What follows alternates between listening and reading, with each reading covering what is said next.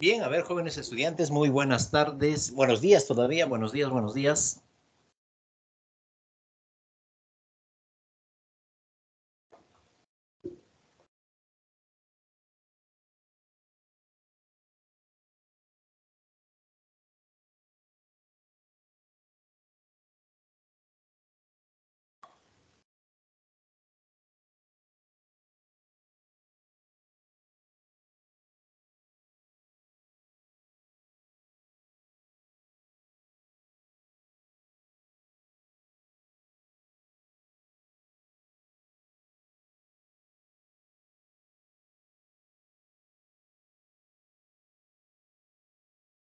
A ver, chicos, muy buenos días nuevamente.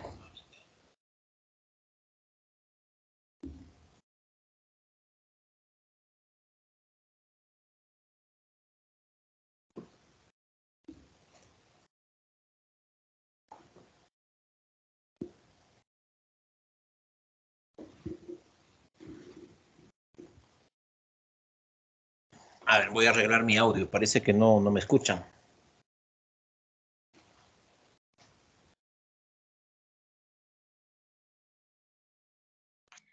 Profesor, buenos días.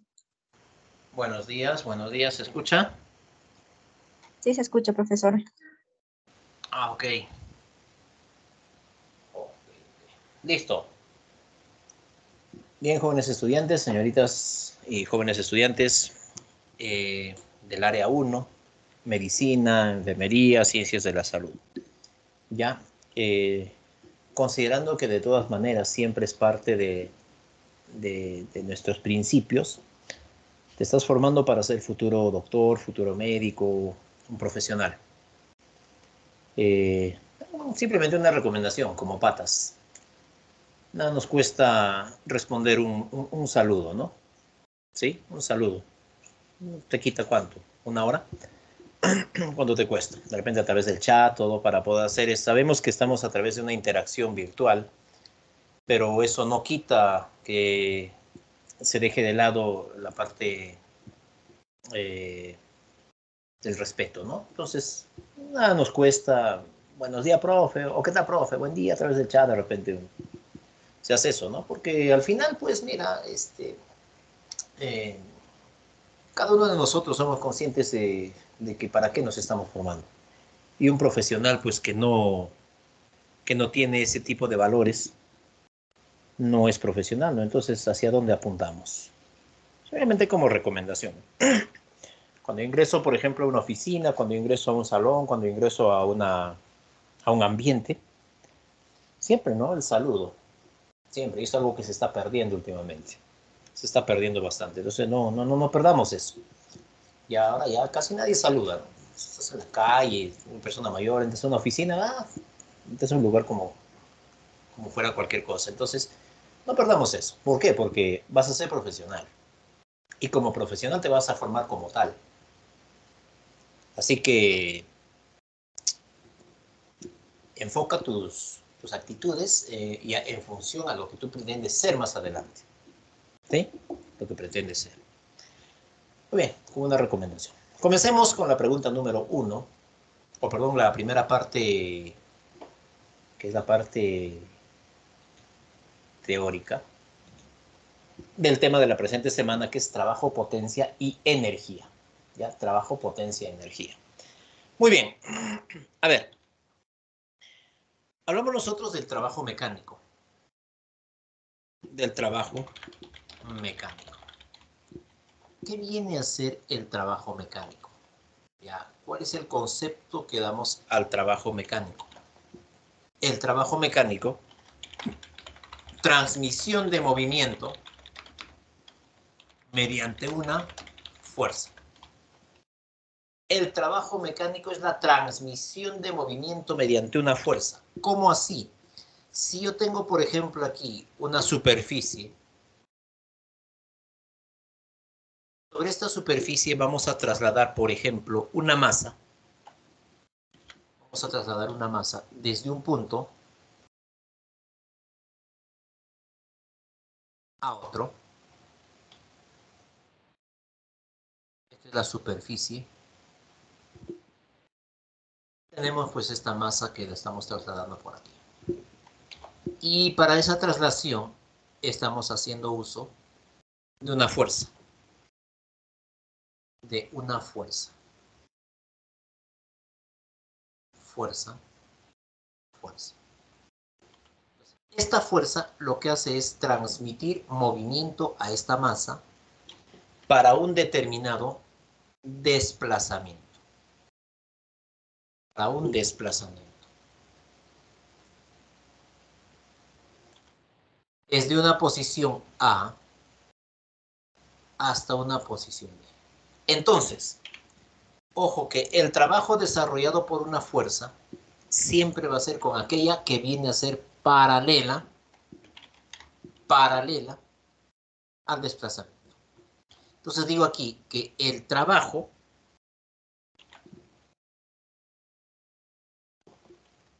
fuerza debe ser paralela o colineal al desplazamiento.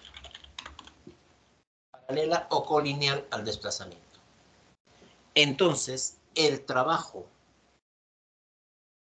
desarrollado por la fuerza para llevar el móvil desde A hasta B es igual a la fuerza multiplicado por el desplazamiento o la distancia.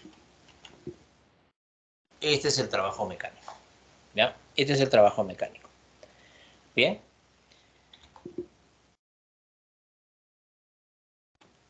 Como toda magnitud física, la unidad viene a ser el joule. La unidad viene a ser el joule.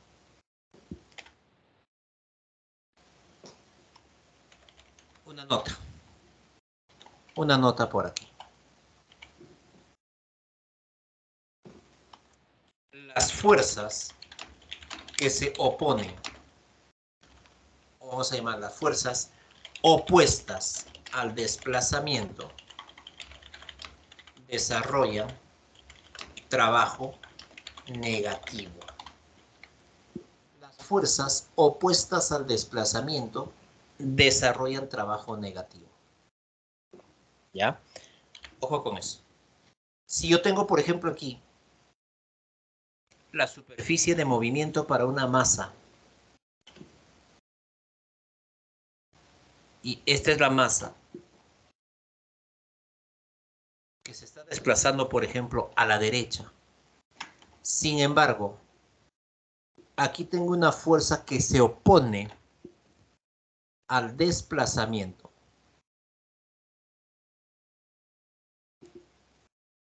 Obviamente que están en líneas paralelas. Este trabajo de esta fuerza para llevar el bloque desde un punto A hasta un punto B de A a B viene a ser menos, menos fuerza por desplazamiento. ¿Ya? Negativo. Negativo. Muy bien. Vamos con el trabajo mecánico y a continuación tenemos el trabajo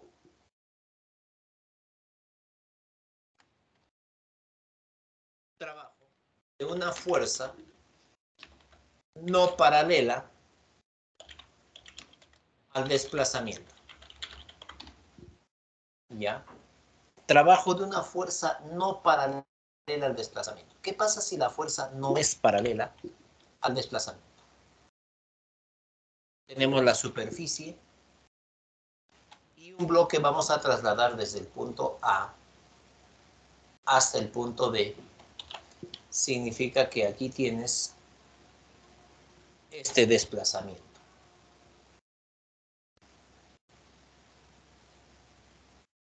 Desplazamiento, ¿ya? A ver, para este bloquecito. Desde A hasta B. Pero la fuerza que voy a aplicar sobre este bloque va a estar así. No es paralelo al desplazamiento. Es más, aquí tenemos la línea de acción y vamos a tener, por ejemplo, un ángulo. Un ángulo. Entonces, Cuando se trata de una fuerza que no es paralela al desplazamiento, lo que vamos a hacer es descomponer la fuerza. ¿Ya? Entonces aquí descomponemos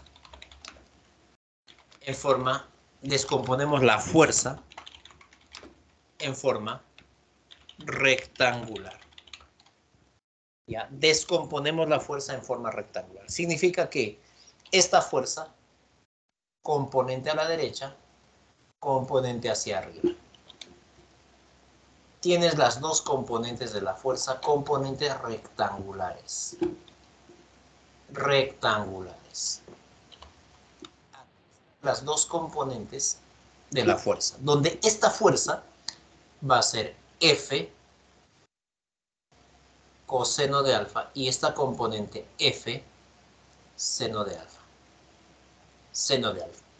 Entonces, solamente desarrollará trabajo aquella fuerza que es paralela al desplazamiento. Entonces, el trabajo desarrollado por la fuerza F va a ser igual a la fuerza F coseno de alfa multiplicado por el desplazamiento.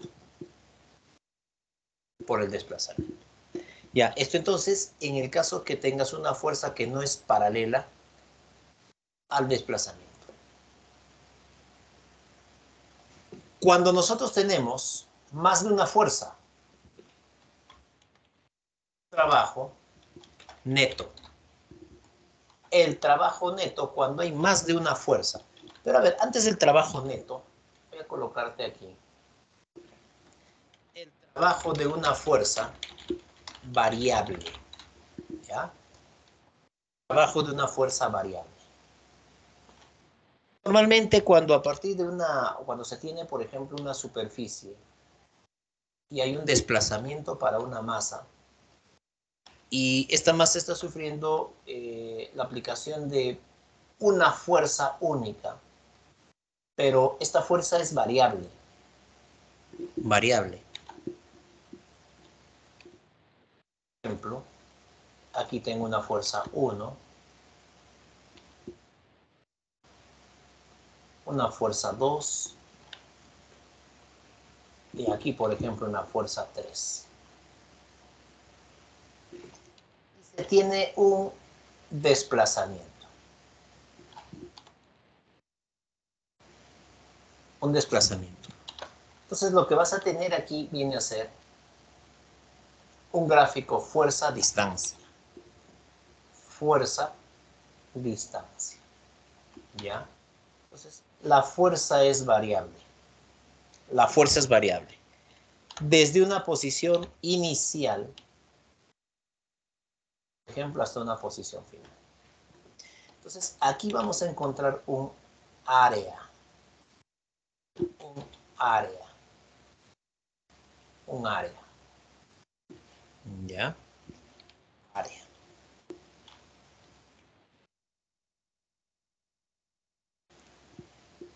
Toda esta área sombreada, ¿eh? Cuando tienes fuerza desplazamiento,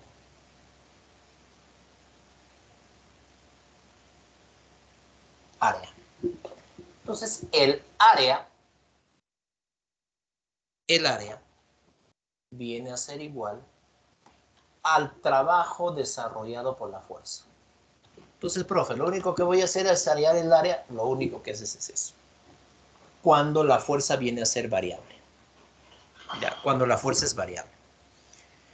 Bien, trabajo de una fuerza paralela, una fuerza no paralela, cuando la fuerza es variable. Y por último tendríamos cuando una fuerza, o perdón, cuando sobre una masa se están aplicando más de una fuerza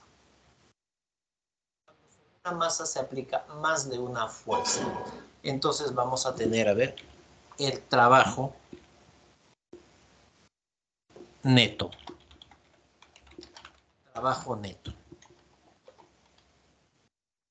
Trabajo neto. Suponiendo para una superficie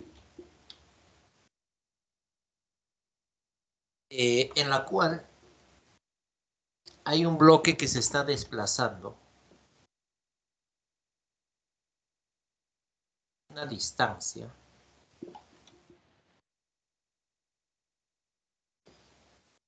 Y sobre este bloque se está aplicando una fuerza 1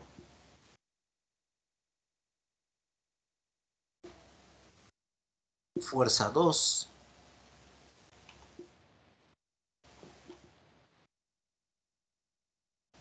una fuerza 3 así sucesivamente una fuerza enésima entonces, cuando hay más de una fuerza, se utiliza el trabajo neto.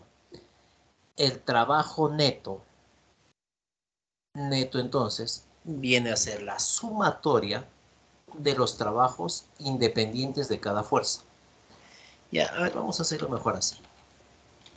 El trabajo efectuado por la fuerza 1 más el trabajo efectuado por la fuerza 2 más así sucesivamente más el trabajo efectuado por la fuerza enésima. Es el trabajo neto. Dentro de ellos puedes tener este, una fuerza que tengas que descomponer, fuerzas contrarias, ya sabemos que viene a ser negativo. Ya, ahora, aquí tengamos en cuenta, si las fuerzas, las fuerzas son constantes, fuerzas son constantes, el trabajo neto, trabajo neto, va a ser igual a la fuerza resultante, mira, fuerza resultante multiplicado por el desplazamiento. Si el trabajo neto, ¿ya? Así el trabajo neto. Si es que las fuerzas son constantes. Trabajo. Ahora hablemos de la potencia. ¿Qué viene a ser la potencia mecánica? A ver, potencia mecánica. Cuando nos referimos a la potencia, estamos hablando de una rapidez, rapidez con la cual se desarrolla trabajo mecánico. La rapidez con la cual se desarrolla trabajo mecánico. Esa es la potencia. Entonces, hablar de la potencia, mira, potencia es igual al trabajo dividido entre el tiempo. Trabajo entre tiempo. Joule por unidad de segundo. ¿Qué viene a ser el watt? Son los watts o los vatios. Pero la potencia también. Si es trabajo, el trabajo viene a ser fuerza por distancia. Entre el tiempo. Entonces, a esto llamamos potencia media.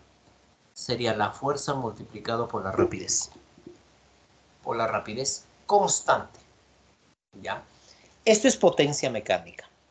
Ahora, no solamente podríamos expresar la potencia de esta forma. La potencia también se podría llevar a su forma de energía. ¿Cómo? Así. La potencia, energía, entre tiempo, puede ser calor entre tiempo. La potencia también se podría expresar de esta forma. Energía entre tiempo. Un tema asociado a la potencia un tema asociado a la potencia viene a ser el rendimiento. ¿Ya? Es el rendimiento. Rendimiento. A ver, ¿qué es el rendimiento? Le voy a poner aquí. El rendimiento viene a ser la potencia útil, la potencia entregada multiplicado por el 100%. Así calculas el rendimiento. Pero, ¿cómo es eso de potencia útil? Imagínate que tienes aquí una máquina, un motor, un motorcito aquí, que para que funcione este motor tienes que suministrarle cierta cantidad de energía. Si no, no funciona. La energía, por ejemplo, de una pila, de una batería, de energía eléctrica, le tienes que suministrar cierta cantidad de potencia. Esa es la potencia que estás entregando a la máquina. Una vez que esta máquina comienza a funcionar, entonces nos está brindando a nosotros la finalidad es que realice un trabajo útil. Y ese trabajo por unidad de tiempo se denomina potencia útil. Pero esta máquina no es perfecta. Toda máquina siempre sufre desgaste, recalentamiento. Entonces aquí tienes una potencia disipada. Potencia disipada o potencia que se pierde. Entonces esta potencia útil, útil es igual a la potencia entregada menos la potencia disipada. Esa es la potencia útil. Si aquí la potencia entregada, por ejemplo, eh, vamos a poner, a ver, por ejemplo aquí, 100 watts. La potencia útil es 80. Entonces la potencia disipada sería 20. Por lo tanto, el rendimiento sería potencia útil 80 entre potencia entregada 100 multiplicado por el 100%. El rendimiento entonces aquí es el 80%. Potencia mecánica, hablamos del trabajo mecánico. Y a continuación tendremos la energía mecánica. La energía. A ver, energía mecánica.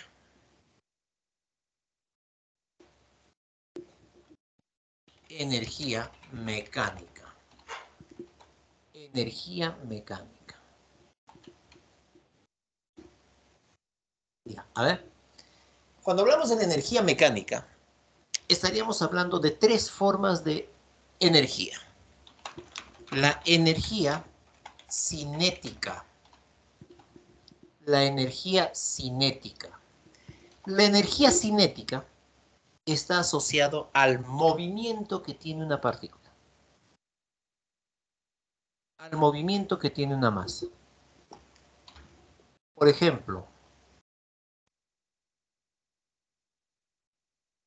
tengo un móvil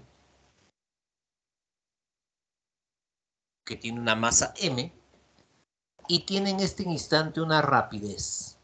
Entonces tiene energía cinética. La energía cinética viene a ser un medio de la masa por la rapidez elevada al cuadrado. Unidades unidad, el joule. La energía se mide en joules. Otro tipo de energía, B, energía potencial gravitatoria. ¿Ya? La energía potencial gravitatoria. Esta energía potencial gravitatoria está asociado a la posición que tiene una partícula respecto a un nivel de referencia. Por ejemplo, aquí tenemos el piso. El piso sería un nivel de referencia. Un NR. Entonces, por ejemplo, una masa, una piedra, por ejemplo, aquí, esta masa. No olvidemos que siempre está presente el factor aceleración de gravedad. Esta masa se encuentra a una altura respecto al nivel de referencia. Entonces se tiene energía potencial gravitatoria. Masa por gravedad por la altura. Este es el otro tipo de energía mecánica. Tendremos C, energía potencial elástica. ¿Ya? La energía potencial elástica. Una superficie horizontal la cual vamos a suspender aquí un resorte.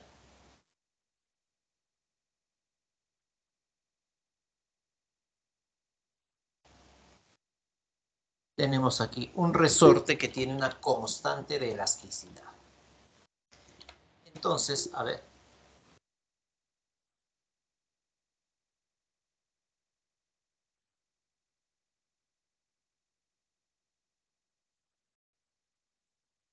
vamos a estirar este resorte. Al estirar este resorte, está sufriendo una deformación. Una deformación. Entonces, aquí se está almacenando energía de este tipo. Energía potencial elástica, donde la energía potencial elástica será igual a un medio de la constante de elasticidad multiplicado por la deformación elevado al cuadrado. Así se calcula la energía potencial elástica. Todas tienen la misma unidad del Joule, la misma unidad del Joule. ¿Ya? Entonces, entonces, la energía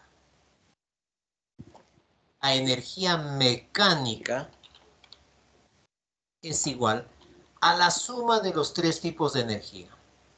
Energía cinética más la energía potencial gravitatoria más la energía potencial elástica. Consolidando todo, esta es la energía mecánica. La suma de los tres tipos de energía. Pero básicamente cuando hablábamos solamente de la energía, o sea, si podíamos de repente esto definir qué viene a ser en conclusión la energía. No puedes desarrollar trabajo si no tienes energía. Entonces, la energía mecánica viene a ser la capacidad para desarrollar trabajo. La energía mecánica es la capacidad para desarrollar trabajo mecánico. Se tiene, se tienen eh, las llamadas fuerzas conservativas. Fuerzas conservativas. ¿Ya? Fuerzas conservativas. Son aquellas fuerzas que conservan la energía.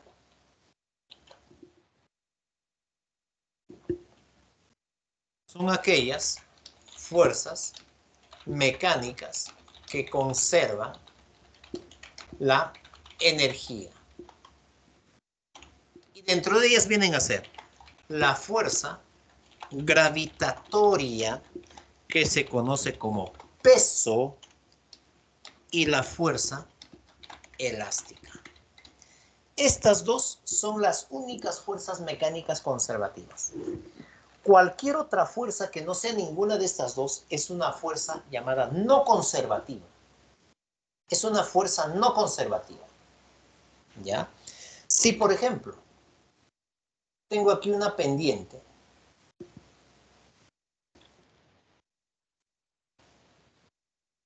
una pendiente a través de la cual está eh, descendiendo una masa. Por ejemplo, se encuentra en esta posición A.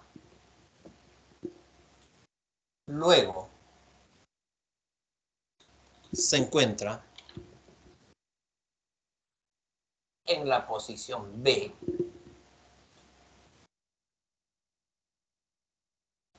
y así sucesivamente en la posición C. Entonces, la única fuerza que va a estar presente aquí en cada punto de su trayectoria va a ser el peso. Por el peso es el que está descendiendo, asumiendo que la superficie es lisa. Entonces, aquí tienes el peso. Entonces, de todas maneras aquí vamos a colocar la superficie lisa. Entonces, como la única fuerza viene a ser la fuerza gravitatoria, y la fuerza gravitatoria es conservativa, puedo decir que la energía mecánica en A es igual a la energía mecánica en B, es igual a la energía mecánica en C. Las fuerzas son conservativas. Tanto la fuerza gravitatoria como la fuerza elástica. Pero ¿qué ocurre si yo tengo, por ejemplo, rozamiento? Si hay fricción. Trabajo de una de fuerzas vamos a poner así, fuerzas no conservativas. Ya, fuerzas no conservativas. Si yo tengo una fuerza o varias fuerzas no conservativas, serían aquellas fuerzas que no es el peso ni la fuerza eh, elástica. Entonces, si se trata de una fuerza no conservativa, no conservativa, hago lo siguiente. El trabajo de una fuerza no conservativa, lo que hace es generar una variación de la energía mecánica. Es decir, energía mecánica final menos la energía mecánica inicial. Esto hacemos cuando se trata de una fuerza no conservativa. Si es conservativa, la energía se iguala. Pero también tenemos el trabajo neto. El trabajo neto. El trabajo neto viene a ser la variación de la energía cinética. Trabajo neto ya solamente variación de energía cinética. Ojo aquí para concluir esta parte teórica. Si la velocidad es constante o me dice lentamente, entonces el trabajo neto es cero. Si la velocidad es constante o me dice que lentamente, entonces el trabajo neto es cero. Ojo con eso. En estas a ver cuánto tenemos aquí. La anterior y la primera diapositiva. En estas tres diapositivas aquí que acabamos de mencionar, la parte teórica, se basa todo lo que viene a ser el tema de la semana número 6. Trabajo mecánico, fuerza constante, fuerza variable. Tienes eh, trabajo neto, potencia mecánica, rendimiento tienes energía mecánica, cinética, potencial gravitatoria, potencial elástica, fuerzas conservativas y trabajo de fuerzas no conservativas. Vamos a la aplicación de la parte práctica. A ver.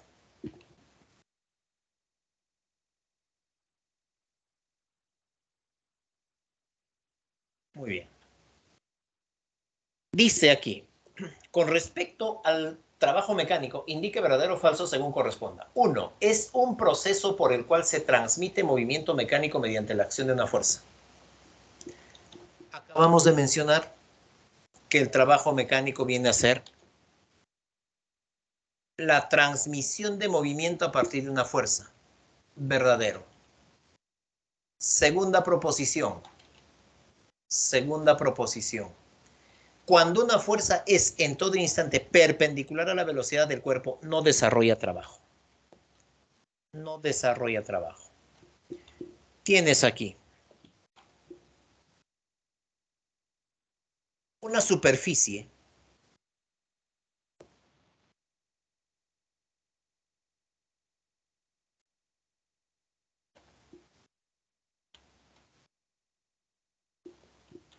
sobre la cual se está desplazando una masa gracias a una fuerza F.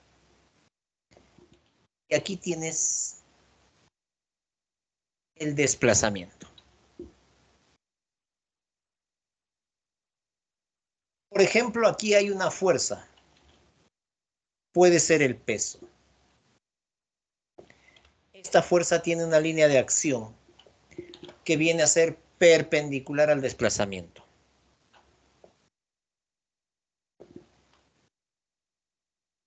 Entonces, entonces, jóvenes, las fuerzas perpendiculares al desplazamiento no desarrollan trabajo mecánico. Las fuerzas que son perpendiculares al desplazamiento no desarrollan trabajo mecánico.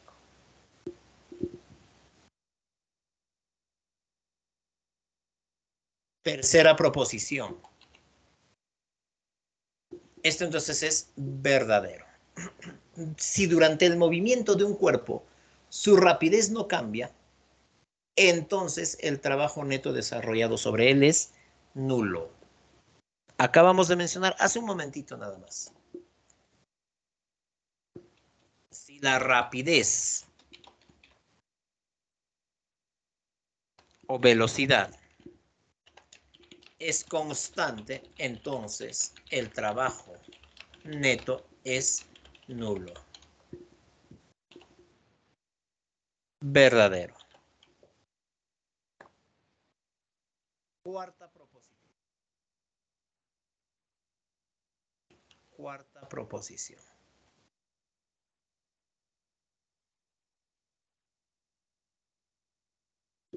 Si la fuerza es constante, el trabajo desarrollado mediante ella es independiente de la trayectoria, verdadero. No nos interesa la trayectoria para el trabajo. Nos interesa solamente el desplazamiento. Y el desplazamiento sabemos que es posición inicial y posición final. No nos interesa por dónde esté desplazándose el móvil.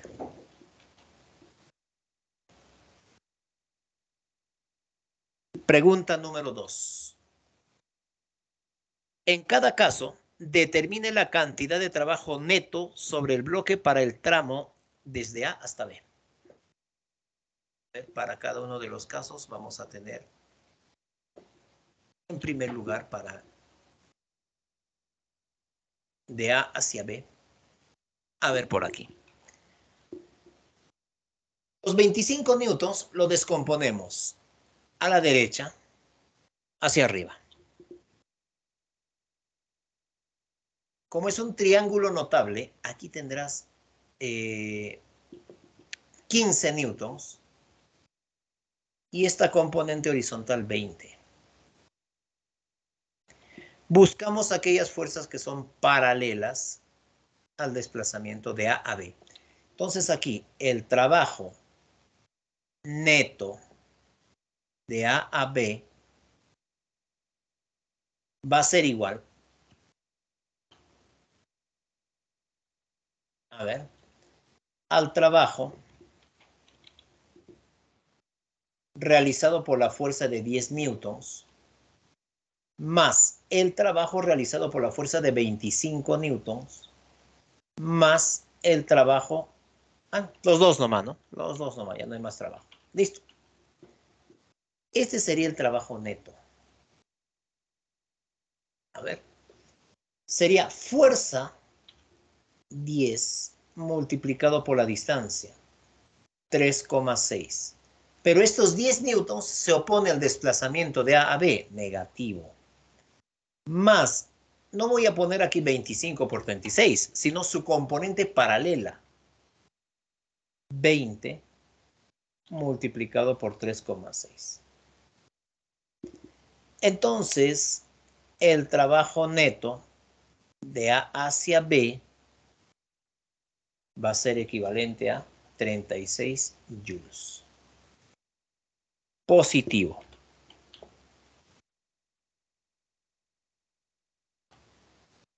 Ya tenemos una primera respuesta. Para el segundo bloque, también desde A hasta B. También desde A hasta B. A ver. Este bloque tiene 6 kilogramos de masa. Así que aquí tienes el peso. 60 newtons. Si hay peso, aquí tendríamos la reacción normal también de 60 newtons. El bloque se desliza a la derecha, pero mira, ve, esto es fricción. Coeficiente de fricción es rugoso. Aquí vamos a tener la fuerza de rozamiento. Entonces, la fuerza de rozamiento viene a ser fruna, coeficiente por la reacción normal. ¿Cuánto es el coeficiente? 0,3. Multiplicado por la reacción normal, 60. Entonces, la fuerza de rozamiento va a ser igual a 18 newtons.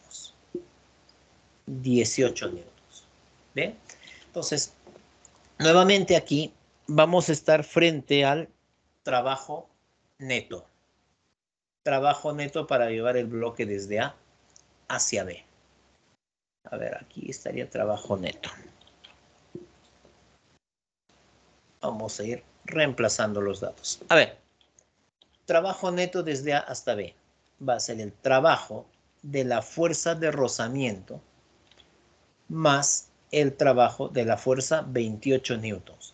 Trabajo de la fuerza de rozamiento negativo menos, ¿por qué negativo? Porque el rozamiento se opone al movimiento, menos fuerza de rozamiento, 18 por la distancia, mira la distancia es 5 metros, por 5, más fuerza 28 por distancia, 5.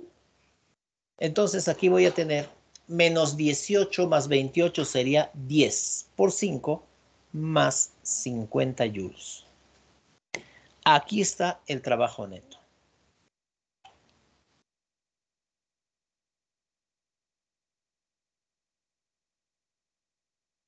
Aquí está el trabajo neto. 36 y 50 joules.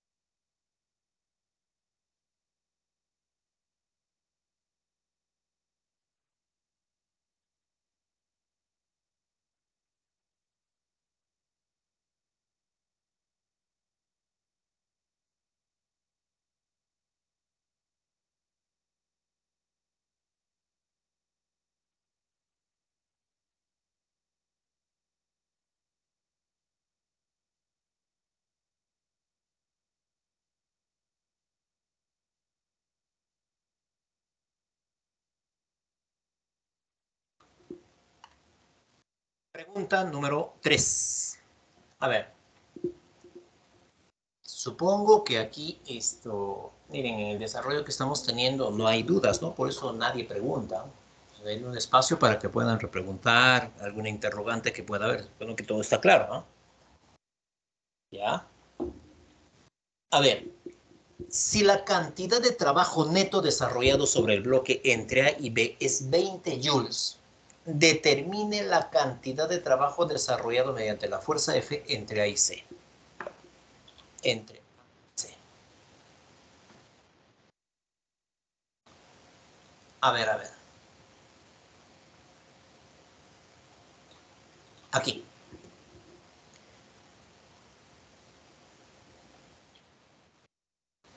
Vamos a tener el tramo AB solamente a ver para el tramo AB. Tendríamos el trabajo desarrollado por la fuerza desde A hasta B va a ser igual a la fuerza por la distancia entre A y B. D. Pero me dice que el trabajo desarrollado es 20 joules. 20 joules va a ser la fuerza por dicha distancia entre A y B. Ahora, en el tramo de A a C, en el tramo de A y C. ¿Ah?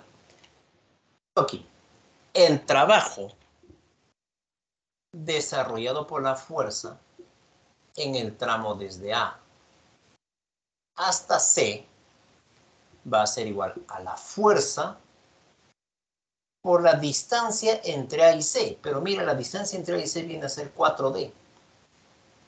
4 veces D. ¿Ya? Trabajo de la fuerza F desde A hasta C. Lo podría escribir como 4 veces F por D. F por D. Pero F por D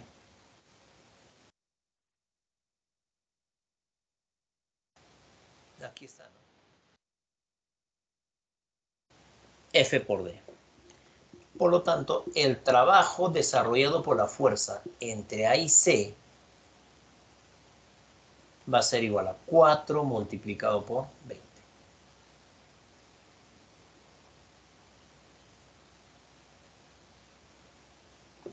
80 joules. 80 joules. Este es el trabajo entre A y C. 80 joules.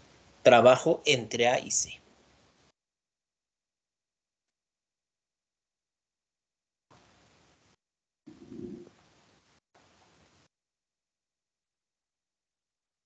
Si hubiera alguna pregunta, alguna duda, Adelante.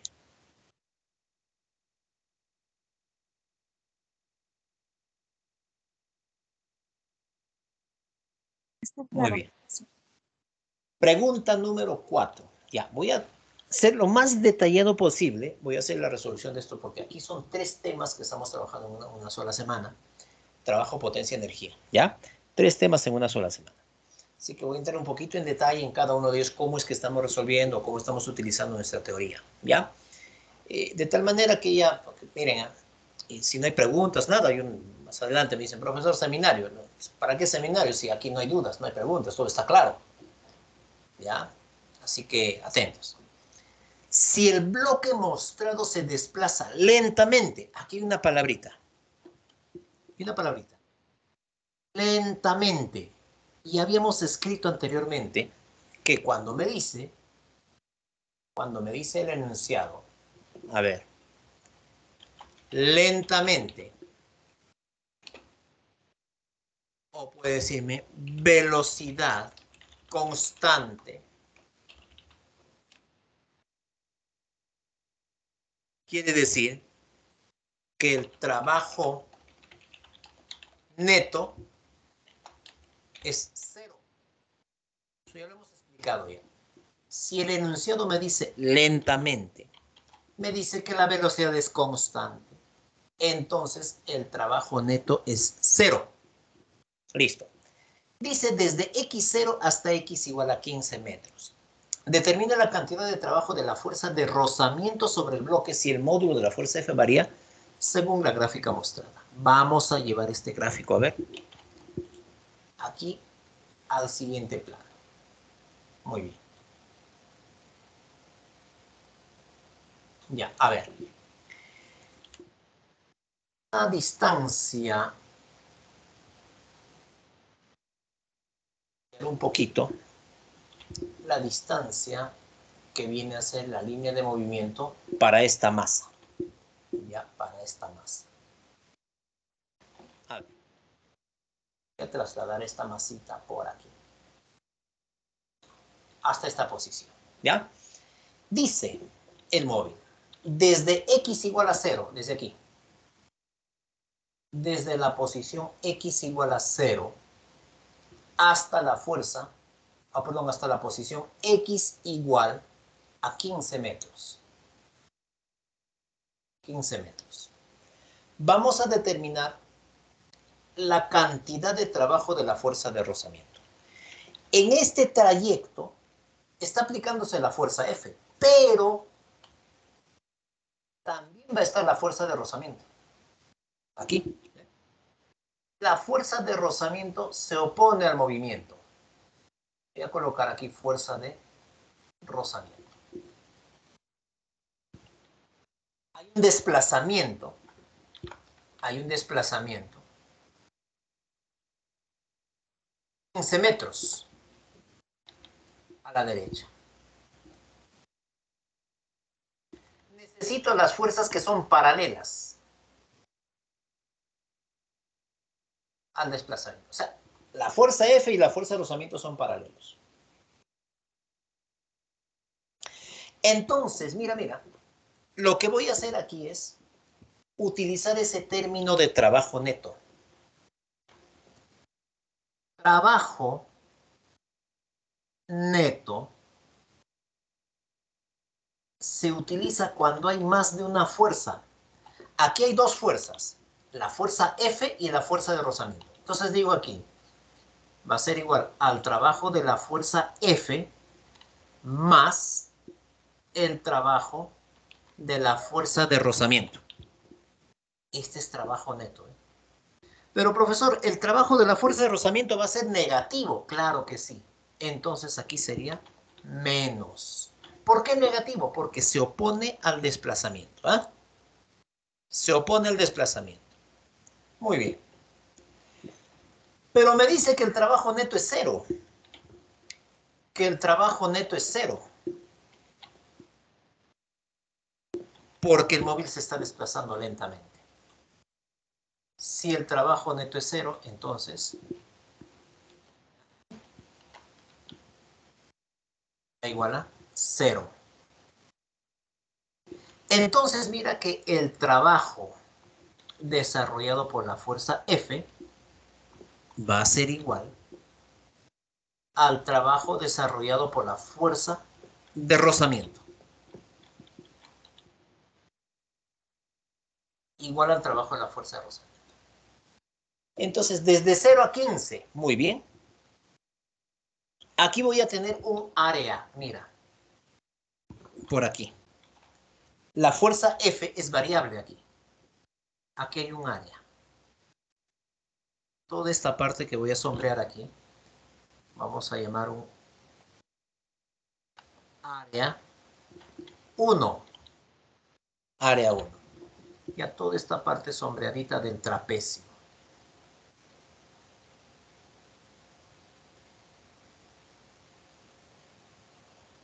Ya, aquí está el área 1. Muy bien. Vamos a calcular entonces el área 1. Área 1. Como se trata de un trapecio, base mayor, tienes aquí 20, más la base menor sería 10, dividido entre 2, multiplicado por la altura. La altura viene a ser 8. 8. Listo, 8. Entonces, aquí tenemos el área del trapecio. Tenemos el área del trapecio. 30 entre 2, 60. 30 entre 2, 15. 15 por 8. Voy a tener 120. 120 unidades cuadradas. Pero también aquí hay otra área. Un área 2, el área de este rectángulo. Aquí hay otra área.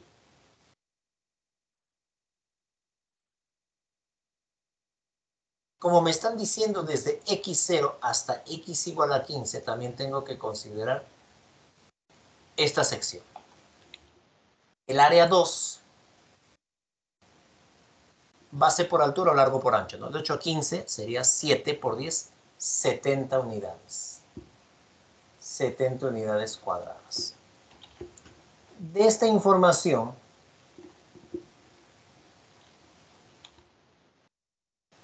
yo tengo entonces el trabajo realizado por la fuerza F. Va a ser el área 1 más el área 2. Entonces, el trabajo desarrollado por la fuerza F 120 más 70. El trabajo desarrollado por la fuerza F, 190 joules. Me están pidiendo determinar la cantidad de trabajo desarrollado por la fuerza de rozamiento. Mira aquí. El trabajo de la fuerza de rozamiento es igual al trabajo de la fuerza F. Profe, pero eso es negativo. Pero mira, me están pidiendo la cantidad, o sea, el número, el valor nada más. 190 joules. 190 joules. Este es el trabajo de la fuerza de rozamiento. Respuesta alternativa E. Hacemos un pequeño alto, 12 y 1, 12 y 30 nos incorporamos nuevamente para seguir el siguiente bloque. Entonces, en media horita nos incorporamos, chicos.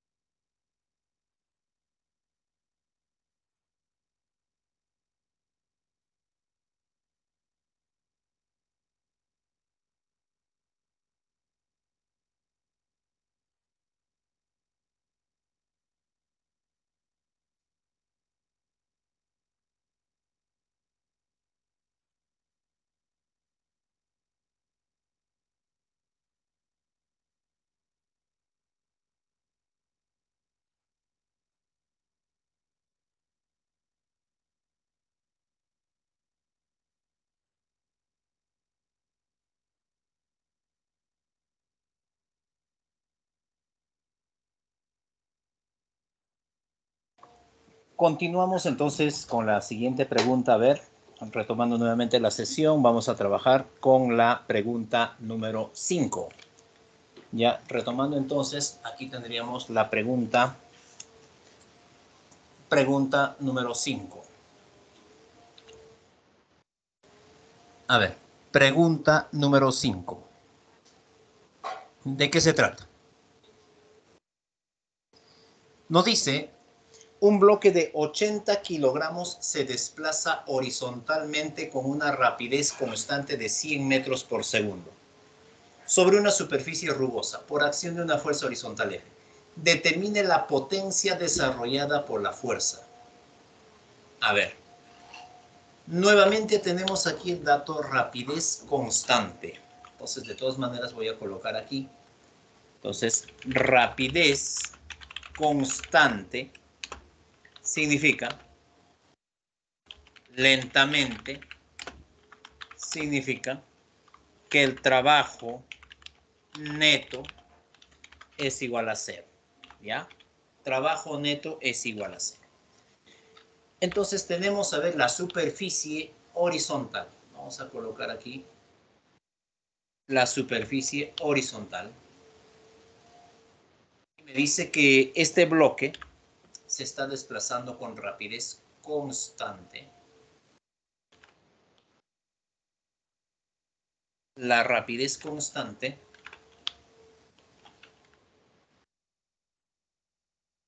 de 100 metros por segundo.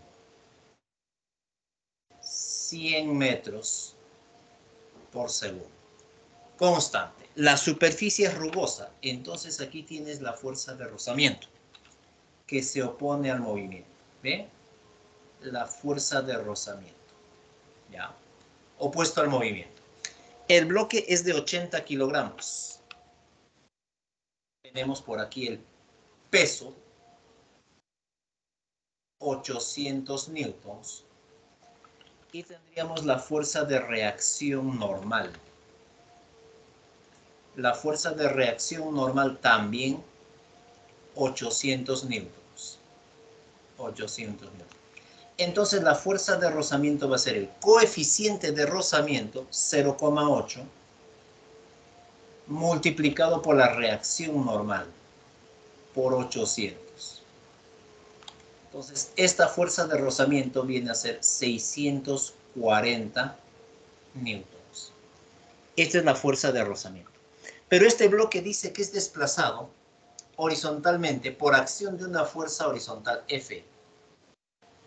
Aquí tendríamos la fuerza F. A la derecha, mira, la fuerza F. Como el trabajo neto es cero, como el trabajo neto es cero, entonces la fuerza F es igual a la fuerza de rozamiento. Es decir, 640 newtons. 640 newtons. ¿Bien? Entonces, ahora lo que vamos a hacer es, hallamos la potencia. hallamos la potencia. Recuerda que la potencia, la potencia también se determina como la fuerza multiplicado por la rapidez constante.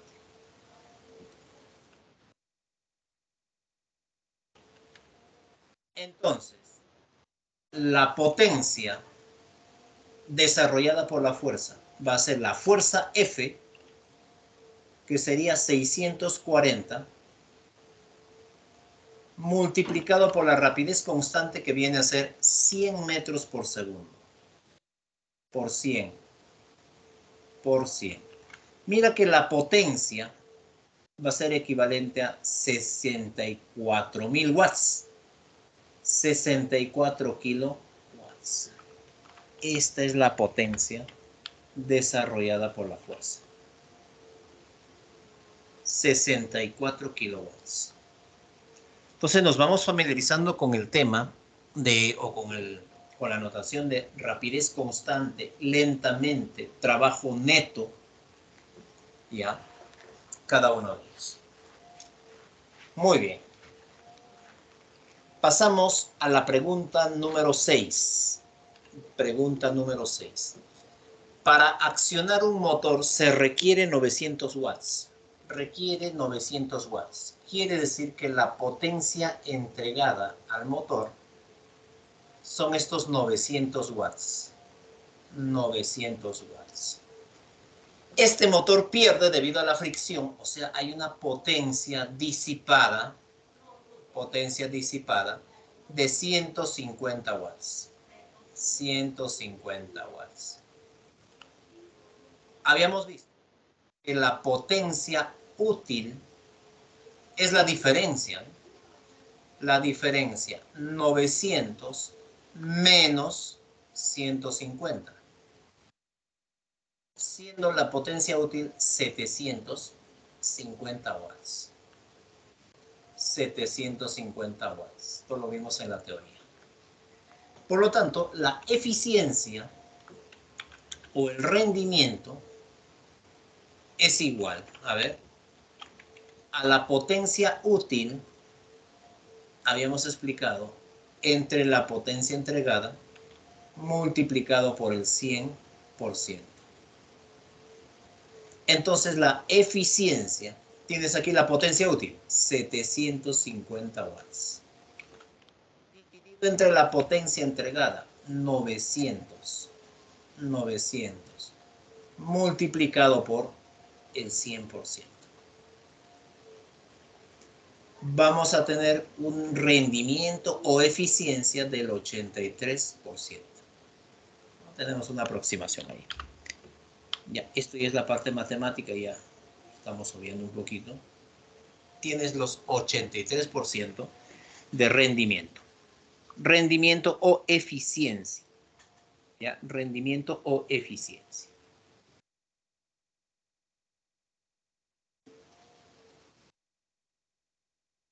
Pregunta número 7. Número 7.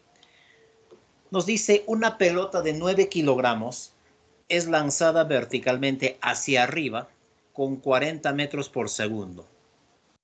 Determine la energía potencial y energía cinética. Ahora estamos con la energía al cabo de dos segundos. Tenemos la superficie o llámese el nivel de referencia para el objeto. Entonces, lanzamos una pelotita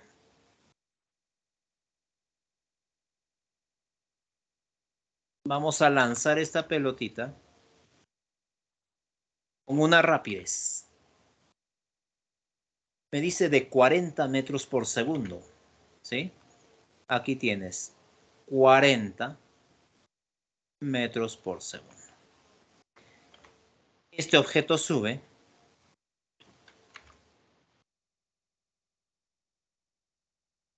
En algún momento estará en esta posición y transcurre, a ver, a ver, transcurre aquí un tiempo, vamos a colocar aquí un tiempo de un segundo, un segundo. Entonces la rapidez sería 30. Sabemos que disminuye de 10 en 10. Transcurre un segundo más, un segundo más pelotita, por ejemplo, estará aquí. Desplazándose también hacia arriba con una rapidez de 20. 20 metros por segundo. Entonces, aquí sería el siguiente segundo. El siguiente segundo. Un segundo dos segundos. ¿Listo? Entonces me dice cuánto viene a ser la energía potencial y energía cinética en esta posición. A ver, vamos a calcular la energía potencial. Para eso necesito la altura. A ver. Entonces aquí vamos a colocar, hallamos la altura. H. Vamos a hallar la altura H. Entonces, en este tiempo, el móvil se eleva respecto al nivel de referencia una altura h. ¿Ya? Entonces, para poder hallar esa altura, altura, voy a tener la ecuación altura igual a la semisuma, ¿sí? Rapidez inicial más la rapidez final entre 2, todo multiplicado por el tiempo. Entonces voy a hacer uso de esta ecuación. Altura h entonces, h igual, igual. Rapidez inicial 40, 40. Rapidez final 20, dividido entre 2, dividido entre 2, multiplicado por el tiempo. Son 2 segundos. 2 segundos. Entonces mira que la altura h son 60 metros. 60 metros. Ya está. Ya tenemos la altura h. Ahora, hallamos la energía potencial. ¿Cuál de las dos? Potencial gravitatoria, potencial elástica. Gravitatoria, porque aquí no tengo pues este resortes, ¿no? Entonces, aquí va a estar la aceleración de gravedad. Entonces tendríamos energía potencial gravitatoria, la EPG, energía potencial gravitatoria viene a ser la masa multiplicado por la gravedad por la altura. Masa por gravedad por altura. A ver. Energía potencial gravitatoria. Masa 0,9 kilogramos. 0,9. Por la aceleración de gravedad 10. Multiplicado por la altura 60 metros. 60 metros. Entonces la energía potencial gravitatoria va a ser 540. Eh, 540 joules. Ahora, la energía cinética. Cinética. Hallamos la energía cinética. Entonces, la energía cinética es igual a un medio de la masa multiplicado por la rapidez al cuadrado. Energía cinética. Un medio de la masa. La masa es 0,9. Por la rapidez al cuadrado. La rapidez es 20. En esa posición me dice. 20 y elevamos al cuadrado.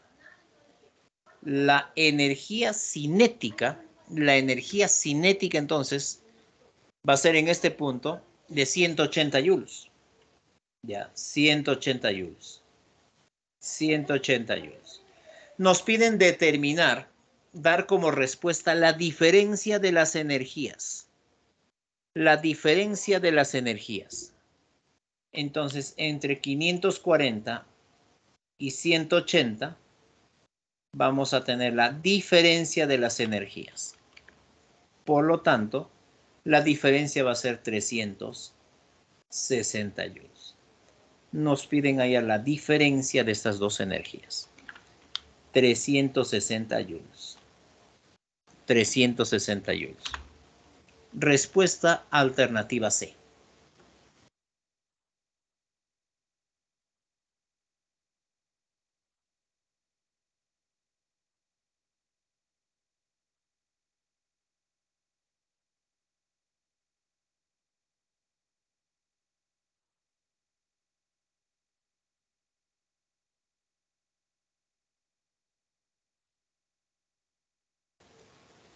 La pregunta número 8.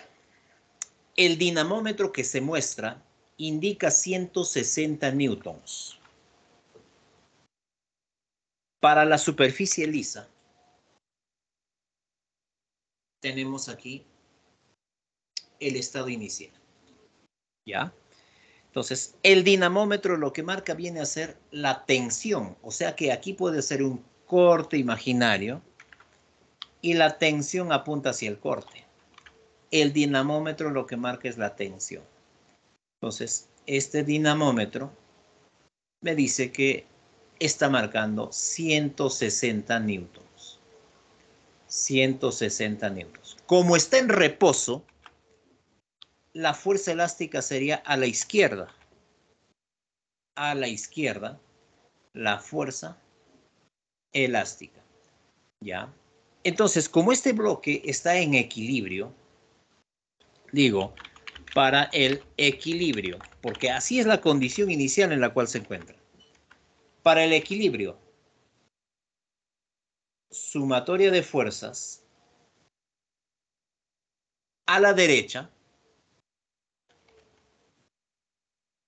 es igual a la sumatoria de fuerzas a la izquierda. ¿Qué fuerzas, qué fuerzas están hacia la derecha? La tensión del dinamómetro, 160 newtons. Fuerzas a la izquierda, la fuerza elástica. Mira, la fuerza elástica. 160 newtons es igual. La fuerza elástica viene a ser constante de elasticidad multiplicado por la deformación. 160 newtons, constante de elasticidad. Mira que el enunciado me dice 400 newtons por unidad de metro. Tienes entonces 400 multiplicado por la deformación. La deformación. ¿Está bien? Entonces, eh, aquí vamos a tener la deformación del resorte equivalente a 0,4 metros. Entonces, mira, la deformación 0,4 metros. Entonces, en esta posición inicial, a ver, vamos a poner aquí, el sistema presenta energía potencial elástica. ¿Por qué? Porque el resorte está estirado tiene energía potencial elástica. A ver, la energía potencial elástica es un medio de la constante de elasticidad por la deformación elevado al cuadrado. Entonces, la EPE, un medio de la constante, la constante viene a ser 400 por la deformación al cuadrado, 0,4 elevado al cuadrado. ¿Listo? 0,4 al cuadrado. Tienes la energía potencial elástica equivalente a 32 joules. Pero ahora dice que se corta la cuerda. Entonces, al cortar la cuerda, A ver, al cortar la cuerda, ya el resorte no presenta deformación, porque eso me dice el enunciado. Ya, al cortar la cuerda, determine la rapidez que adquiere el bloque. En el instante en que no está deformado, el resorte se está desplazando a la izquierda con una determinada rapidez. Y si el resorte no está deformado, y si el resorte no está deformado, entonces el sistema presenta energía cinética. El sistema presenta entonces energía cinética.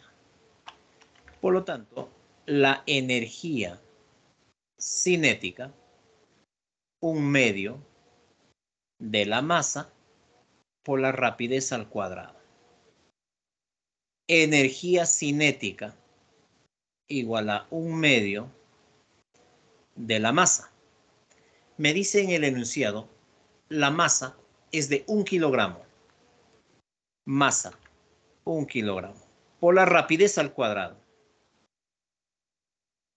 sería entonces aquí rapidez al cuadrado dividido entre 2. Entre 2. ¿Ya? Por lo tanto, la única fuerza que está actuando es la fuerza elástica. Entonces digo aquí que la fuerza elástica, la fuerza elástica, elástica, es conservativa. La fuerza elástica es conservativa. La fuerza elástica es conservativa, entonces la energía inicial es igual a la energía final. ¿Qué tipo de energía se tenía al inicio? Potencial elástica. 32. Igual a la energía final, cinética. Rapidez al cuadrado dividido entre 2. Sería 64 raíz cuadrada. Mira que la rapidez viene a ser 8 metros por segundo. Esta es la rapidez.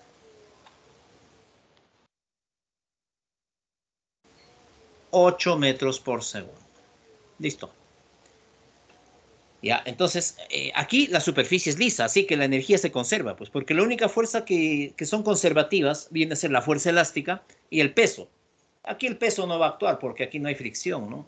El movimiento no es vertical, sino que viene a ser horizontal. Esta viene a ser entonces la rapidez del móvil.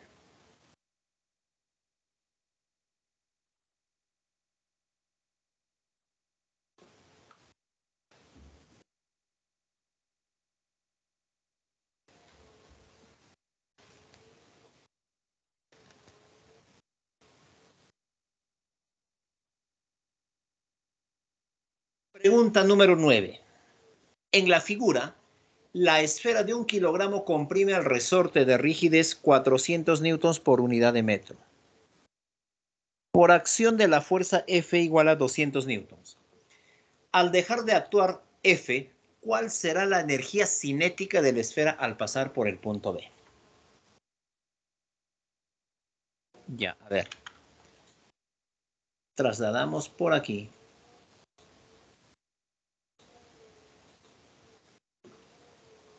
y en algún momento esta esfera va a pasar por el punto B.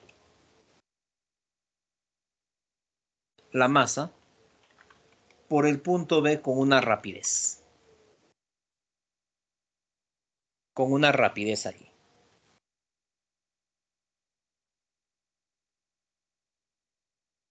Entonces, respecto siempre a un nivel de referencia, respecto al nivel de referencia, que sería aquí la línea horizontal. Allí tienes el nivel de referencia. Tenemos aquí la posición A de la masa y luego tenemos la posición B. ¿Ya? Entonces, a ver aquí.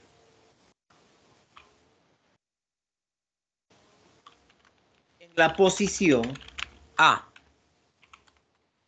es lo que ocurre en la posición A? Hay equilibrio, porque dice que en la figura la fuerza F comprime al resorte de un kilogramo cuya constante de elasticidad es 400. Entonces, en el punto A, vamos a tener una fuerza que se opone a esta fuerza F. Vamos a colocar la fuerza de rozamiento. O perdón, la fuerza elástica la fuerza elástica. Entonces, en la posición A, sumatoria de fuerzas a la derecha, igual a una sumatoria de fuerzas que van a la izquierda. Fuerzas a la derecha, la fuerza elástica. Igual fuerzas a la izquierda, la fuerza F. Pero mira, la fuerza F dice que vale 200. Entonces la fuerza elástica es K por X. K vale 400.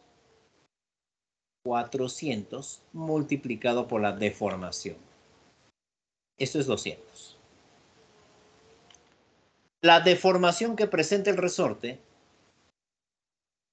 0,5 metros. Mira. Ahora, cuando soltamos esta masa, viaja hasta el punto B. La superficie no me dice que sea rugoso, sino la superficie es lisa. Entonces, ¿qué es lo que va a ocurrir aquí? Conservación de la energía mecánica. Por conservación de la energía mecánica en A y B. por conservación de la energía mecánica en los puntos A y B.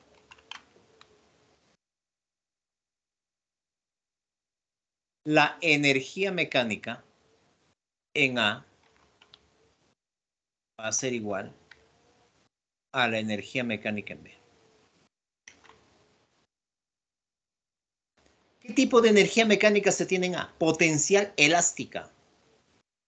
Digo entonces aquí que la energía potencial elástica en A va a ser igual a la energía en B. En B hay velocidad. Tendrías energía cinética en B. Pero también hay potencial gravitatoria porque el punto B está a una altura.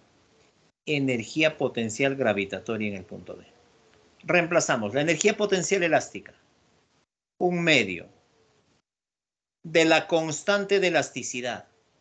400 por la deformación al cuadrado. 0,5 al cuadrado. La energía cinética en B, cinética en B, más la energía potencial gravitatoria en B, masa 1 por gravedad 10 por la altura. Mira, son 2 metros de altura multiplicado por 2. Entonces aquí lo que me están pidiendo es determinar la energía cinética en el punto B. ¿Sí? Me piden calcular la energía cinética, que bueno, pues aquí sería 30 joules. 30 joules. Esta es la energía cinética en B.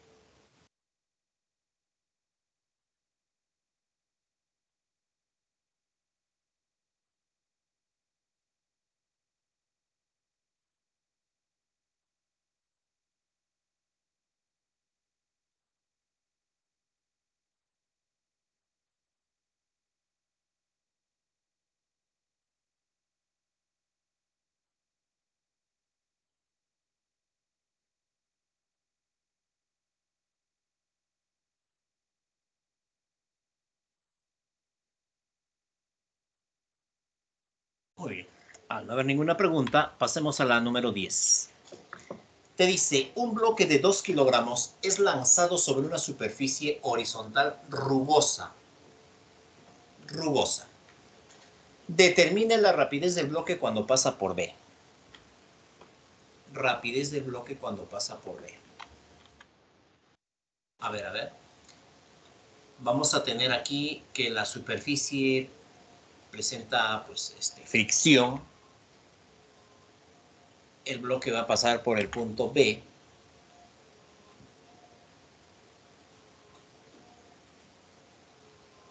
A ver aquí. Está pasando por el punto B. ya. La superficie de contacto, superficie de movimiento. 5 metros por segundo la rapidez en A. No sabemos cuánto viene a ser esta rapidez en B. Rapidez en B. Entonces, entonces, aquí tenemos rozamiento. En todo momento, esta fuerza de rozamiento se opone al movimiento. Ya, aquí vamos a ver. Mira, tienes la fuerza de rozamiento, porque la superficie es rugosa. Aquí está la fuerza de rozamiento. ¿Ya? Fuerza de rozamiento. Entonces, en primera instancia, vamos a hallar la fuerza de rozamiento. Damos la fuerza de rozamiento. A ver fuerza de rozamiento va a ser igual al coeficiente de rozamiento multiplicado por la reacción normal. Ya lo conoces. Unita. Fuerza de rozamiento. Ahora, para el bloque que está en movimiento, este bloque, eso no ha cambiado nada, tiene peso vertical hacia abajo. 2 kilogramos, el peso sería equivalente a los 20 newtons. Está en contacto con la superficie. Fuerza de reacción normal. La fuerza de reacción normal también 20 newtons. Y la fuerza de rozamiento se opone al deslizamiento. La fuerza de rozamiento. Entonces, la fuerza de rozamiento va a ser coeficiente, mira, 0,3. 0,3 multiplicado por la reacción normal, 20. Tienes la fuerza de rozamiento equivalente a 6 newtons. Ya está la fuerza de rozamiento. Ahora, esta fuerza de rozamiento viene a ser una fuerza no conservativa. ¿Ya? Fuerza no conservativa. Diríamos entonces, y también lo vimos en la teoría, trabajo de fuerzas, de fuerzas no conservativas. Tendremos el trabajo de fuerzas no conservativas. No conservativas. ¿Cuál es la notación? Trabajo de una fuerza no conservativa. ¿Qué es lo que hace? Generar una variación de la energía mecánica. Energía final menos, menos la energía inicial. Energía final menos energía inicial. Trabajo de fuerzas no conservativas. Entonces, ¿cuál es la fuerza no conservativa? La fuerza de rozamiento. Trabajo de la fuerza de rozamiento.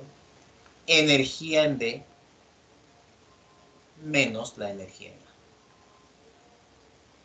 Trabajo de la fuerza no conservativa. La fuerza de rozamiento menos fuerza de rozamiento multiplicado por la distancia. Menos porque se opone al deslizamiento. Energía en B, cinética, un medio de la masa por la rapidez en B al cuadrado. Menos la energía en A, un medio de la masa por la rapidez en A al cuadrado. Listo, lo demás es matemáticas. A ver, tienes entonces menos fuerza de rozamiento 6 por la distancia. La distancia viene a ser 4 metros, mira. Es igual a un medio multiplicado por la masa. Dice que es de 2 kilogramos por la rapidez en B al cuadrado menos un medio de la masa por la rapidez en A, 5 metros por segundo elevado al cuadrado. Resolviendo, voy a tener la rapidez en el punto B, equivalente a un metro por segundo. ¿eh? Un metro por segundo. Esta es la rapidez en B. Aquí tienes la rapidez en B. Respuesta alternativa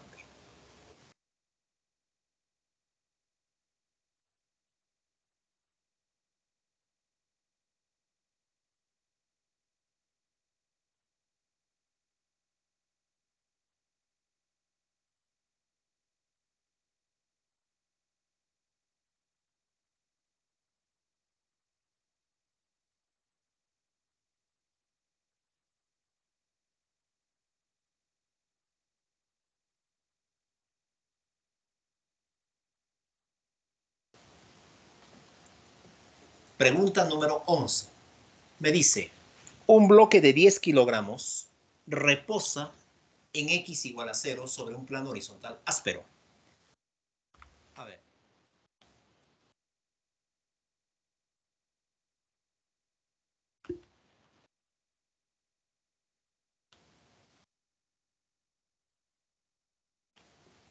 Suponiendo Y tenemos al bloque en la posición X igual a 0, reposa sobre este plano horizontal áspero, cuyo coeficiente de rozamiento me dice que es 0,3x. Aquí tienes coeficiente de rozamiento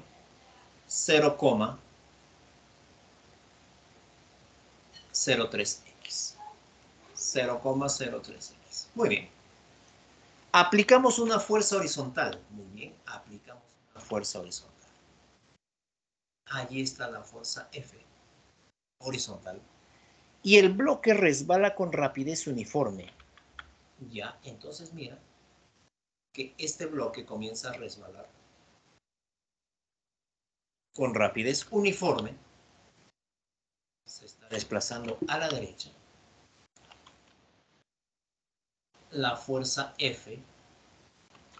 Y aquí hay una fuerza que se va a poner, ¿cierto? Sería la fuerza de rozamiento. Fuerza de rozamiento. Dice, determine la cantidad de trabajo que realiza dicha fuerza, o sea, la fuerza F, al trasladar 10 metros al bloque. Este bloque en algún momento está por aquí. a la derecha la misma fuerza. F. Pero, a ver. Aquí la posición sería X igual a 10.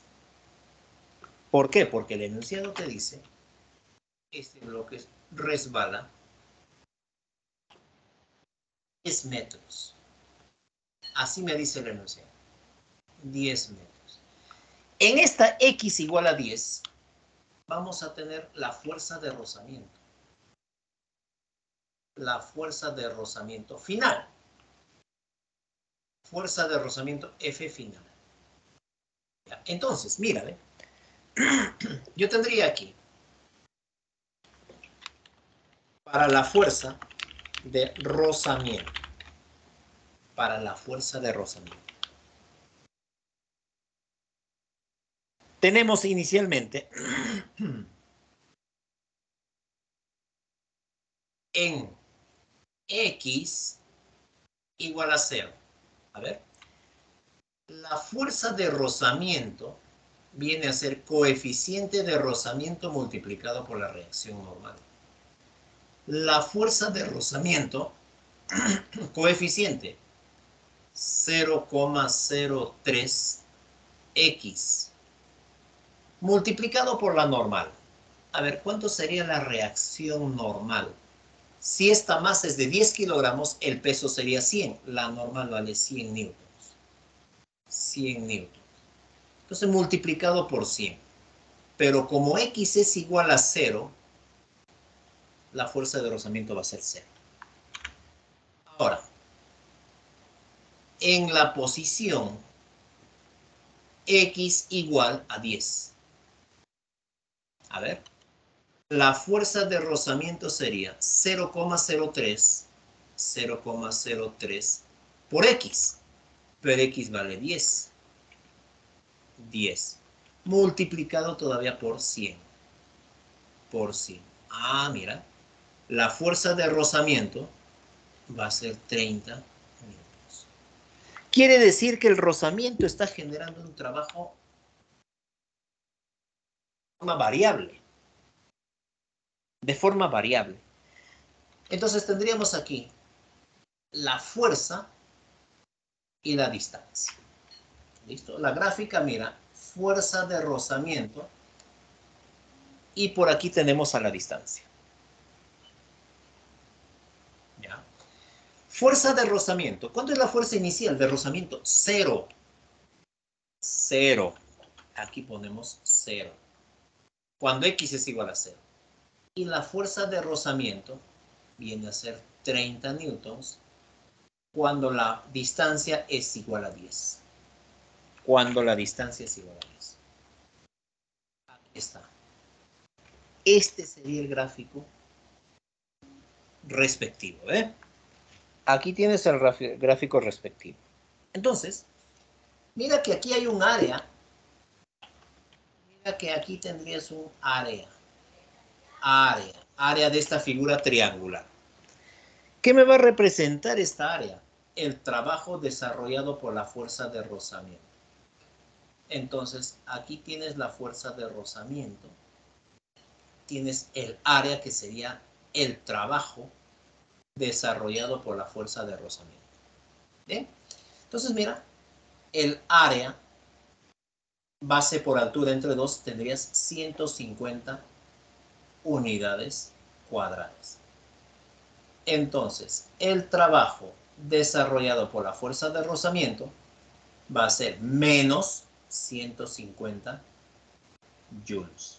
Todo rozamiento genera un trabajo negativo. Pero me piden determinar la cantidad de trabajo realizado por la fuerza F. Por la fuerza F. Mira que el enunciado te dice rapidez uniforme. Rapidez uniforme. Rapidez uniforme. ¿Qué significa? Que el trabajo neto es igual a cero. Y si el trabajo neto es igual a cero, si el trabajo neto es igual a cero, sumatoria de fuerzas a la derecha igual a una sumatoria de fuerzas a la izquierda, porque aquí está en equilibrio. ¿Qué fuerzas van a la derecha? La fuerza F. ¿Qué fuerzas van a la izquierda? La fuerza de rozamiento. Pero aquí vamos a tener una fuerza de rozamiento variable. Entonces, directamente yo digo aquí que el trabajo de la fuerza F es igual al trabajo de la fuerza de rozamiento. O sea, va a ser en este caso positivo, por la fuerza F está a favor del movimiento. ¿Cuánto tienes? 150 joules. 150 joules. 150 joules. Listo. Ahí tienes. 150 joules. Respuesta, la alternativa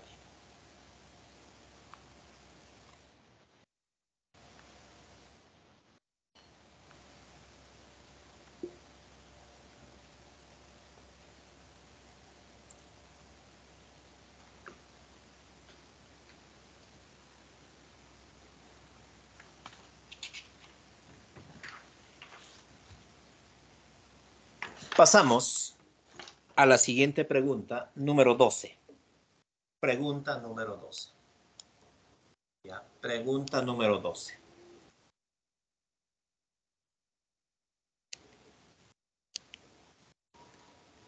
Pregunta número 12. Un bloque de 4 kilogramos experimenta la acción de una fuerza horizontal que varía con la posición según la siguiente ecuación. Mira que la fuerza viene a ser variable tienes una fuerza que depende de 20 menos 2 veces X. ¿ya? Donde F está en newtons y X en metros. Determine la cantidad de trabajo por dicha fuerza hasta el instante en que el bloque alcanza su máxima rapidez. Hasta el instante en que el bloque alcanza su máxima rapidez. Muy bien. Tenemos aquí entonces eh, la superficie de movimiento para este bloque y en algún momento pues este bloque va a alcanzar su máxima eh, rapidez, ¿ya? Vamos a trasladar a ver este gráfico por aquí, por aquí, ya. Más o menos, por ejemplo, aquí, ¿ya? Allí vamos a colocar. Entonces, suponiendo que en esta posición el bloque alcanza su máxima rapidez, ¿ya? Voy a poner aquí rapidez máxima, máxima. Si alcanza su máxima rapidez, quiere decir que ya no hay aceleración. Entonces, esta fuerza F, esta fuerza F, debe ser igual a la fuerza de rozamiento. Porque allí alcanzaría su máxima rapidez. ¿Ya? La máxima rapidez, entonces, punto número uno, vamos a poner aquí, que la fuerza F es igual a la fuerza de rozamiento. Y la fuerza de rozamiento es el coeficiente de rozamiento por la normal. Coeficiente de rozamiento, mire el enunciado, me dice que es 0,2. 0,2.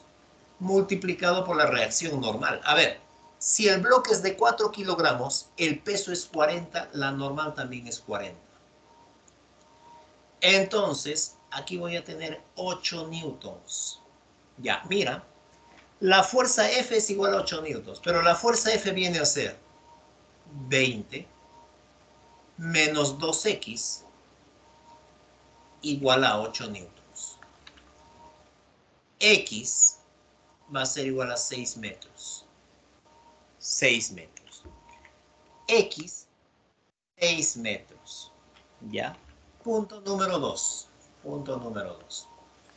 Nos dice, determine de la cantidad de trabajo por dicha fuerza, o sea, por la fuerza F.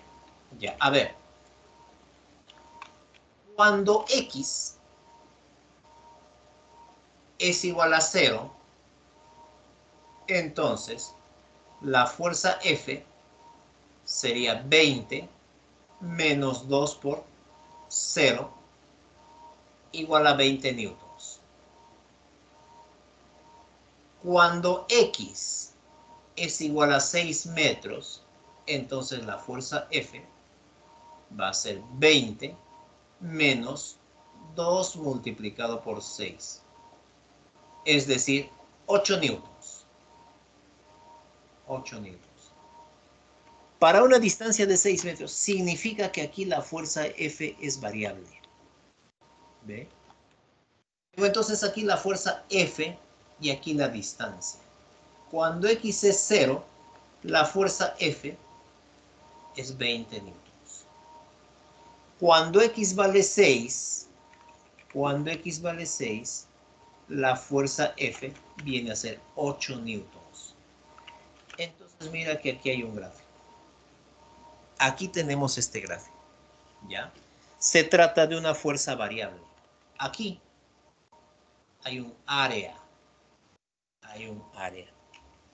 El área de esta figura, de este trapecio, el área de este trapecio, a ver, el área del trapecio, viene a ser el trabajo de la fuerza F. Entonces, si ya tienes el área, va a ser igual a 84 unidades cuadradas.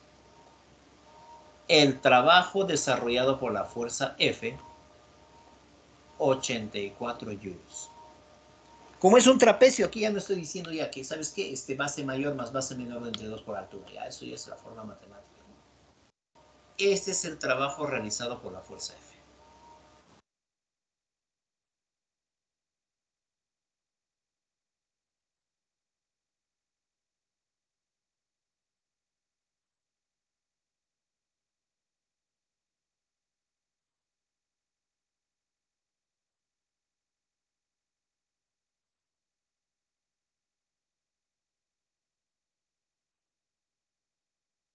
Número 13.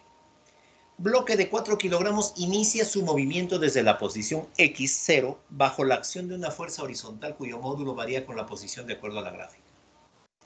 Determine el trabajo, me dice, eh, desarrollado mediante la fuerza de rozamiento en el tramo donde su rapidez aumenta. En el tramo durante su rapidez aumenta. A ver, jóvenes, aquí en este tramo, mira, mira, dos metros, en este tramo la fuerza vale 20. Pero a partir de los dos metros la fuerza va disminuyendo. Entonces la velocidad irá disminuyendo. Entonces yo necesito calcular, a ver, esta área. Esta área que está aquí. Pero el área correspondiente solamente a esta parte en la cual la fuerza hace que la velocidad aumente. Porque luego, porque luego la fuerza va disminuyendo y va a estar disminuyendo también la velocidad. Entonces me dice, determine la cantidad de trabajo mediante la fuerza de rozamiento. En el tramo donde su rapidez aumenta.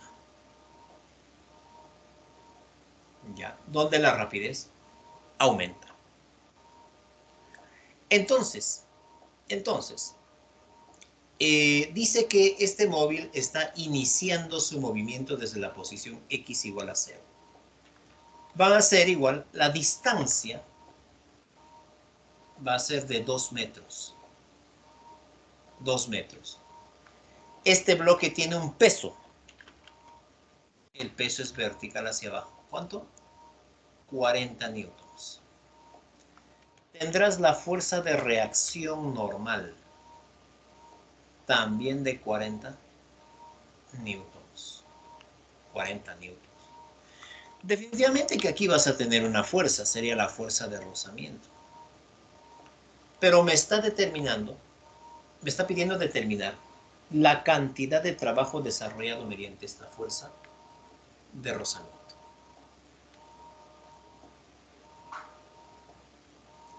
¿Listo? Entonces, a ver, son dos metros. Mira que la fuerza de rozamiento es el coeficiente, el menor, ¿no? 0,25 por la reacción normal que es 40. Entonces la fuerza de rozamiento viene a ser 10 newtons. El trabajo desarrollado por la fuerza de rozamiento menos fuerza por distancia por 2. La distancia vamos a poner D.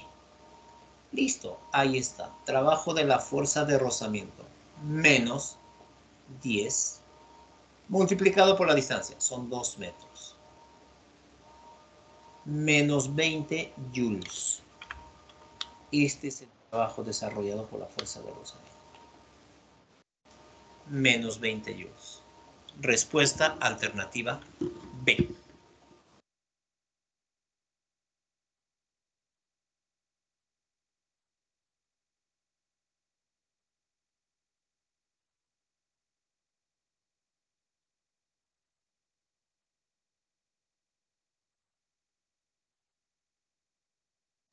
Pregunta número 14.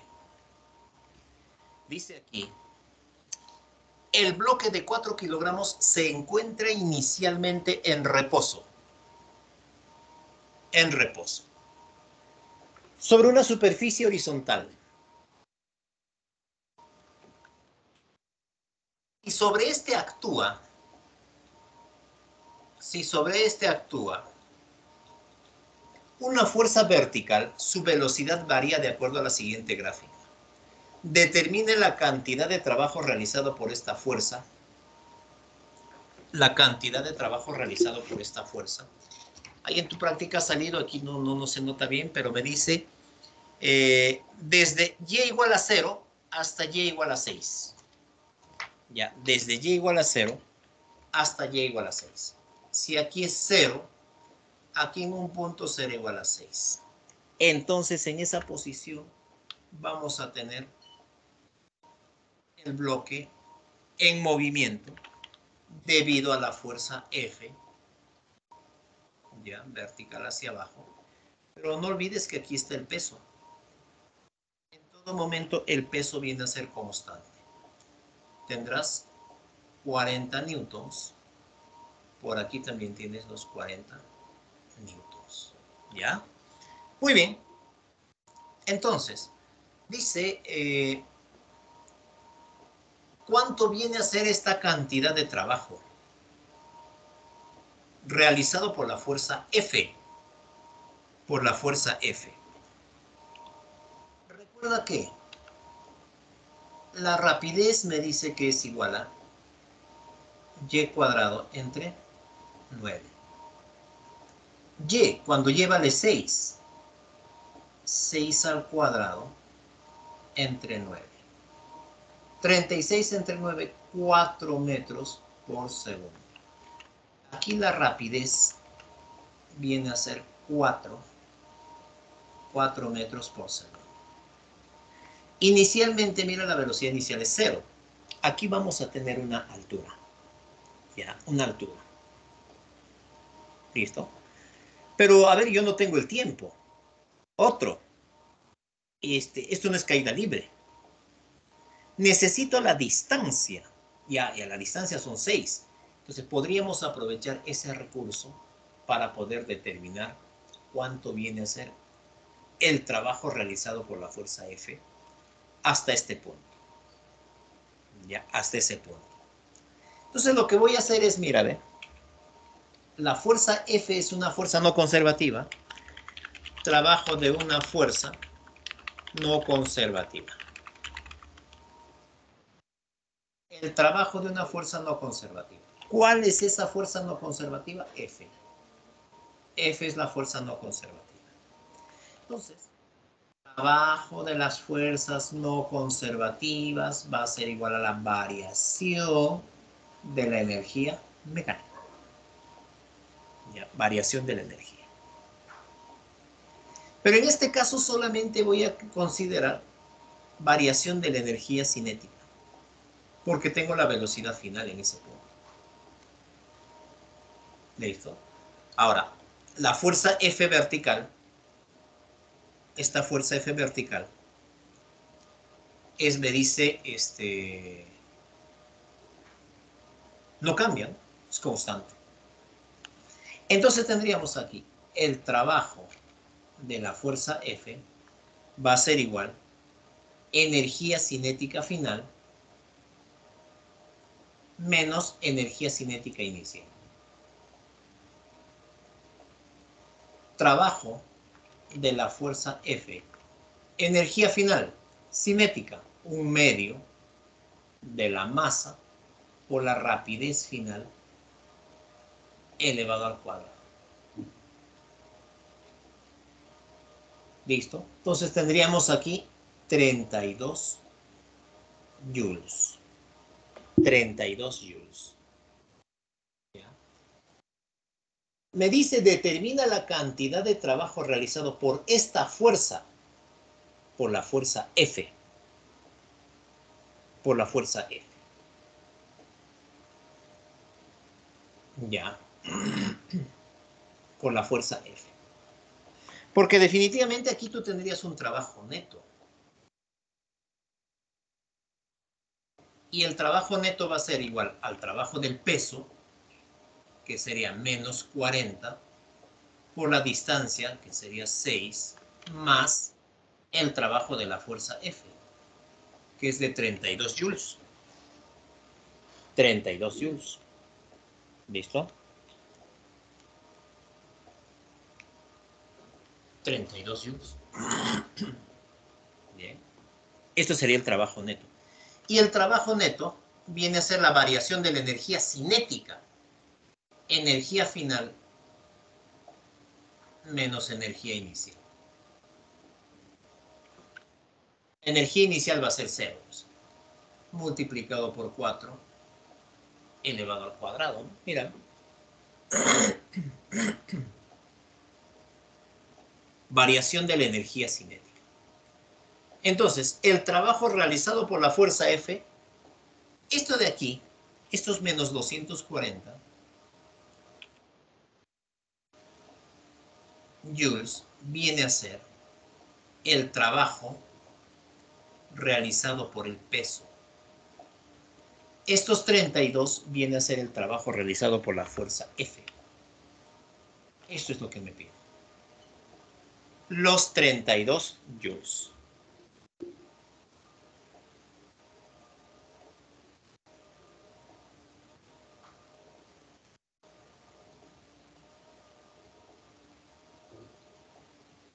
Muy bien, jóvenes estudiantes, siendo ya la 1 y 33, vamos a terminar aquí.